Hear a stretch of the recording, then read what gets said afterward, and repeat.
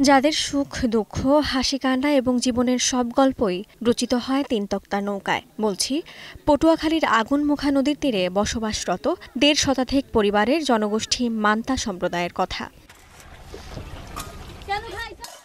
পূর্বপুরুষরা সমতল ভূমির বাসিন্দা হলেও নদী ভাঙনের কবলে পড়ে সব হারিয়েছেন তারা। জমিজমা না থাকায় তাদের জীবন জীবিকা হয়ে ওঠে নৌকা কেন্দ্রিক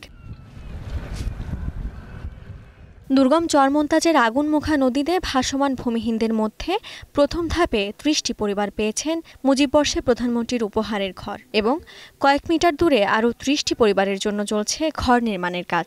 ঘর পেয়ে তাদের মাঝে বইছে উৎসবের আমেজ। তাই তো, ধন্যবাদ ও কৃতজ্ঞতা জানান সরকার প্রধানকে।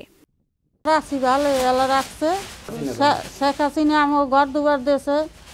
স্যার হয়ে আমরা, একটু ভালো আছি। আল্লাহ রাখছে, একটু ভালো শেখ হাসিনারে অসংখ্য ধন্যবাদ। আমরা খুব সুখে আছি।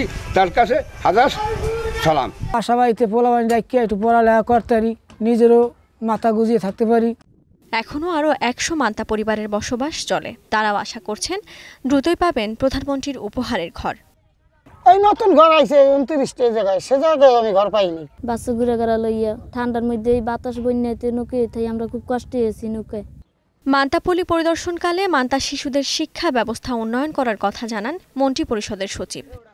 মান্তা সম্প্রদায়ের জন্য এখানে আবাসন কার্যক্রম গ্রহণ করা হয়েছে এবং এরা সব সময় নদীতেই বসবাস করতেন কখনো তীরে ওনাদের কোনো ঘর বাড়ি ছিল না। আমরা যেটা করতে চাচ্ছি যেটি হয়তো তাদেরকে দীর্ঘমেয়াদে তাদের জীবনে পরিবর্তন আনবে যে তাদের সন্তানদের শিক্ষার আলো নিয়ে আসা অন্যদিকে পর্যায়ক্রমে সব পরিবারকে ঘর দেওয়ার আশ্বাস দিয়েছে উপজেলা প্রশাসন। যারা এখনও নদীতে বসবাস করেন পর্যায়ক্রমে আমরা তাদেরও গৃহ নির্মাণের বিষয়ে সরকারের বিভিন্ন প্রকল্পের মাধ্যমে এইটি আমরা এই বিষয়টি আমরা নিশ্চিত করব।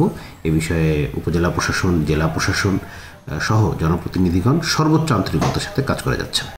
ষাটটি পরিবারের ঠিকানা নির্মিত হয়েছে এই প্রকল্পের অধীনে। ঘরবাড়ির পাশাপাশি সব ধরনের মৌলিক অধিকার আদায়ে সক্ষম হবেন মান্তা সম্প্রদায়ের মানুষরা। এমনটি প্রত্যাশা তাদের। এখন পটুয়াখালী।